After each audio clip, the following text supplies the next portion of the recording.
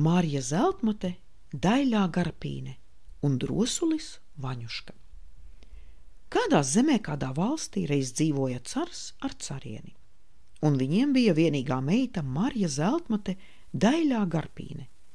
Dzīvoja viņi labi, dzīvoja laimīgi. Bet tad piepeši viņiem uzbruka briesmīga nelaime. Viņu zemē, viņu valstī uzbrāzās drausmīgs pūķis ar deviņām galvām, ar deviņiem snuķiem un deviņām astēm. Tam līdzi bija divi dēli pūķēni. Vecākajam bija sešas galvas, jaunākajam trīs. Pūķis skaļā balsī kliedza tādus vārdus: Klausieties, jūs, car un cariene, un visi ļaudis! Es visu cara valsti ar uguni sadedzināšu un pelnus vējos izkaisīšu. Visus mežus ar saknēm izplēsīšu, visas upes un ezerus izšļakstīšu, visus laukus un pļavas nomīdīšu, visus ļaudis izmērdēšu. Ja gribat palikt dzīvi, barojiet mani un manus dēlus līdz mūža galam, lai katru dienu pret saules rietu plosoņkalnā tiktu atgādāta 16 gadus veca meitene mums apēšanai, jums par izglābšanu. Ko nu iesākt? Raudāja visi ļaudis gaužām asarām, bet neko darīt. Tā nu viņi kopš tā laika dien dienā pie vakara ņēma pa 16 gadus vecai meitenei, aizveda to uz plosoņu kalnu un piekala pie simtgadēja ozola. Tad atlaidās pūķis, meiteni aprija, kauliņus sasvied ezerā. Tolaiktais nebaltās dienās pilsētas nomalē pie nabaga vecmāmuļas vaļnieces dzīvoja viņas mīļais mazdēliņš Vaņuška. Kādu dienu Vaņuška zilās jūras malā zelta smiltīs ieraudzīja Mariju zeltmati, daļo garpīni, ejam rotaļās un iemīlēja viņu bez atmaņas. Un nu piepeši paklīda vēsts, ka rīt carameitai jāiet pie pūķa un jātiek aprītai. No rīta piecēlies, Vaņuška saka vecmāmuļai. Uzdot man veco māti tīru linu kreklu, iešu ar nikno pūķi kauties vai nu pats dzīvs nepalikšu, vai cara meitu Marju izpestīšu. Te nu vecmāmuļa apraudājās, nolika viņam par rokai baltu linu kreklu, izsteidzās laukā, saplūca sētmalī dzēlīgas nātres, ņēmās no asajām nātrēm, pīt vēl vienu kreklu. Pin kreklu un pateiz sāpēm raut. Še vaņuška, viņa saka, velc mugurā šo kreklu, pūķis tevi kodīs, mēli sadzaldinās. Labi, Vaņuška saka. Tā nu reizē ar vakarblāzmu Vaņuška saposās. Ņēma asu izkapti, ņēma dzels smilnu, uzvilka mugurā linu kreklu, tam virsū no nātrēm pīto. Pateica vecmāmuļai ardievas un devās uz plosoņkalnu. Plosoņkalna galā augsts simtgadējs ozols. Pie ozola Marija zeltmate, daļā garpīne, zelta važā piekalta. Ieraudzīja vaņušku un apraudājās. Kālap tu šurp atnāci kriet no jaunekli, ir mana reize nāvē iet, karstas asinis liet, bet par ko gan tev postā jāaiziet, tūdeļ būs klāt pūķis un tevi aprīs. Nebīsties daļā jaunava, kazi neaprīs, aizrīsies.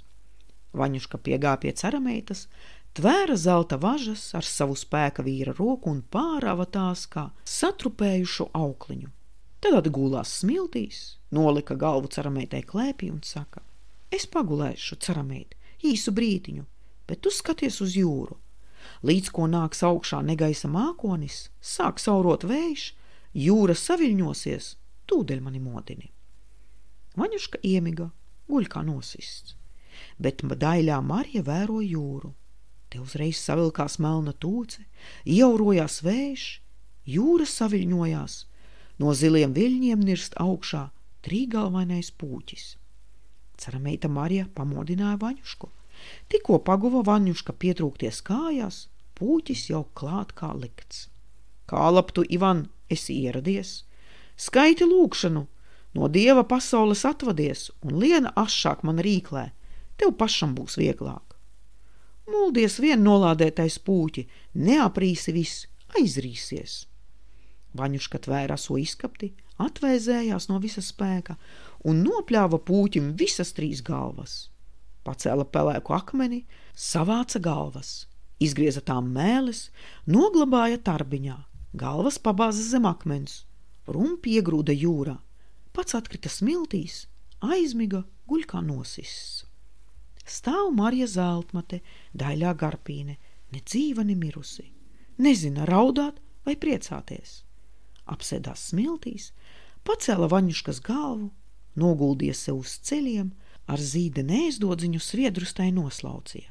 Te uzreiz redz, nāk virsū melna tūce, sāk aurot vējš, jūra viļņot viļņojas, no zilās jūras lien ārā pūķis, rāpjas augšā plosoņkalnā. Carameita nu ņēmās Ivanušku modināt, bet Ivanuška guļ kā nosists.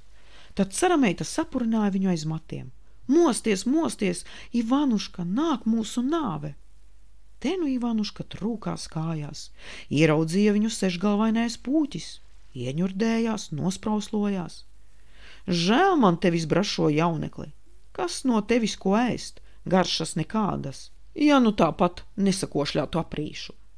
Nekā nebija, Ivanuška saka, rasi aizrīsies un Ivanuška paķēra savu aso izskapti, plaši atvēzējās, nocirta puķim trīs galvas, bet pārējās trīs ugunis spļauj, dūmus dveš, acis svilināt svilina.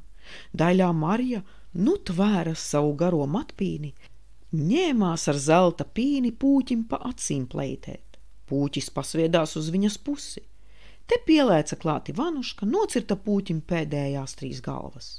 Izgrieza tām mēles, Galvas noglabāja zem akmens, rumpi iegrūda jūrā. Pats nokrita uz kraujā krasta, ar seju zelta smiltīs, aizmiga, guļ kā nosists. Daļā Marija pacēla viņa galvu, noguldīja sev uz ceļiem, ar zīda neizdodziņu tai sviedrus noslaucīja. Te uzreiz savilkās tūce, vējš ieaurojās, jūras saviļņojās. Lien ārā no jūras vecais pūķis ar deviņām galvām, ar deviņiem snuķiem, ar deviņām astēm. Katra aste uz savu pusi sita, katrs snuķis savu meldiņu dudināja, katra galva zobus kņadzināja. Sabijās daļā Marija stiprāk nekā pirmāk, ņēmās Ivanušku modināt. Celies, celies, Ivanuška, nāk pats vecais pūķis, mūs abus aprīs bet, bet Ivanuška guļ cietu miegu. Raud carameita, pār viņu pārliekusi, lej gaužas asaras. Mosties, mosties, Ivanuška, krievu cilvēks nāvi gulēdams negaida, kājās celies, nāvē pretīm stāj. Te nu Ivans pamodās, te nu Ivans sarosījās, tvēra rokās aso izskapti. Nu deviņgalvainais pūķis klūp viņam virsū brēgdams, sprauslādams. Kā nav ražens esi, kā nav varens brašo puis, bet dzīvs tu nepaliksi. Apēdīšu tevi ar visiem kauliņiem. Nekā nebūs nolādētais riebekli, aizrīsies. Un viņi sāka kauties uz dzīvību un nāvi. Koki visapkārt līgoties līgojās, smilšu stabs gaisā uzvērpās, zilo jūru bangas kuļ, pūķis ugunis spļauj, dūmu mutuļus dveš, Ivanuška riskapti pļautin pļauj Izkapts viņam rokās sarkana nokaita. Septiņas galvas Ivanuška nocirta, pēdējās divas ne par ko pieveikt. Pūķis pagrāba viņu mutē un izšpļāva. Nātru krekls tam mēlis sadzēla. Nu pieskrēja klāt sarameita Marija, sāk ar matpīnēm pūķim pa acīm pleitēt. Pūķis pasviedās uz viņas pusi, un tad nu Ivanuška pieklupa klāt, pūķim abas pēdējās galvas nocerta. Mēlis izgrieza, galvas zem akmens pabāza, rumpi jūrā iegrūda. Carameita Marija krita Vaņuškam pie kājām. Tencinu, Ivanuška, man izpestīja, visu Krievu zemi atbrīvoja, būsi mans sirds izredzētais, tētiņam palīgs, māmiņai mīlams dēls. Viņa novilka savu zelta gredzentiņu, uzmauca Vaņuškam mazajā pirkstiņā. Bet Ivanuškam kājas grīļojas, asiņaini sviedri plūst pār seju nokrita Ivanuška slapjās smiltīs, aizmiga cietu miegu. Var redzēt, ka līdz nāvei piemocījies.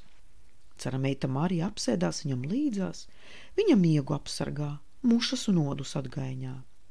Jāja garām cara kara kungs uz balta zirga. Pats briesmīgs, galva kā pāks, rokas un kājas grābekļi, kas grābekļi.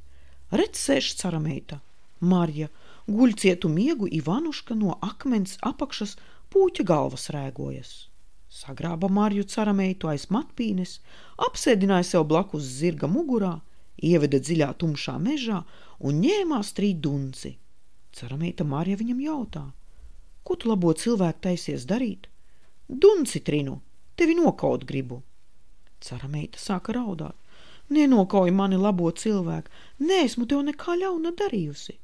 Saki tēvam, ka es tevi no nāves izglābu, Krievu zemi no mošķiem atbrīvoju, solies būt man uzticama sieva, tad pažēlošu. Neko darīt. Caramītei Marijai bija vien jāapsolās. Karakungs aizveda viņu uz pili, atveda pie cara, pūķu galvas parādīja. Rausaka, kas tevi no posta izpestīja? Cars priecīgs apkampa karakungu. Pēc trim dienām saka, lai līksmas dzīves, lai kāzu gods. Carameita Marija raud, bet baidās kaut vārdu bilst. Tikai trešajā dienā pie vakara pamodās Ivanuška Redz, guļ viens pats plosoņu kalnā. Nav līdzās Marijas cerameitas, nav pūķa galvu zem pelēkā akmens. Ivanuška devās uz pilsētu, aizgāja pie vecmāmuļas. Vecmāmuļa nopriecājās, krauj galdā mīkstus pīrāgus, kurina siltu pirtiņu. Bet Ivanuška saka: Aizie vecomāt līdz pilsētai, paklausies, ko ļaudis runā. Vecmāmuļa aizsteidzās uz pilsētu, paklausījās ļaužu valodas, pārnāca mājās un stāsta. Klīst ļaudīs valodas, ka šodien pie cara būšot dižas dzīres, kāzu gods, cars izdodot Marju carameitu karakungam, un tuvaņuška domāja, ka viņa izies pie nabaga. Ivanuška pirtī nomazgājās, uzvilka mugurā tīru kreklu un nu izskatījās īsts brašs puisis, tik līdz, tik jauks ka labāka nemaz nevajag. Vakarā devās taisni uz pili, tur dzīves pilnā sparā, viesi dzer un ēt, ar visādām spēlēm kavējas. Karakungs staigā pa istabām, sekste gaisā. Kas jūs vergat vēseles no nāves izglāba? Tagad jūs man nepīkstēsiet. Cerameita Marija sēž balta kā krīts, acis saraudātas.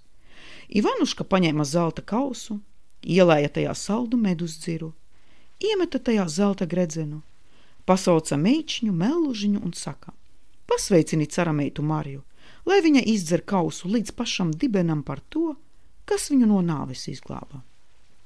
Mellužiņa pienesa kausu Marijai carameitai. Tā izdzēra kausu līdz pašam dibenam.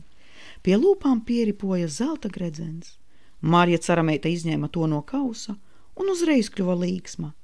Tētiņ, saka, Ne jau tas mani no nāves izglāba, kas man līdzās sēž, piepūties kā tītars, bet tas, kurš viesu pulkā stāv, kuram es šo gredzenu iedevu, kuru par sirds izredzēto dēvēju. Nāc šurp, Ivanuškā! Iznāca Ivanuška goda istabas vidū. Carameita Marija piegāja viņam klāt. Viesi mutes vien ieplēta, blenčs citu uz citu. Karakungs pietrūkās kājās, lamājas. Ak tu! bendesmais stāsts, krievu ļaudis mātīt, kas pūķi nokāva, tas arī galvas nocirta un uz pili atstiepā. Bet Ivanuška viņam pretī. Ja tu pūķi nokāvi, tam galvas nocirti, tad pasaki, kas galvām par vainu? Nekādas vainas galvām nav, tās ir pavisam veselas. Neesmu pūķinec ievainojis, nec ar duršanu dūris, ar vienu cirtienu galvas nocirtu. Ivanuška pūķu galvas pacēla, Rīkles vaļā paplēta. Raugiet, saka, kas galvām par vainu? Nevienai mēles nav.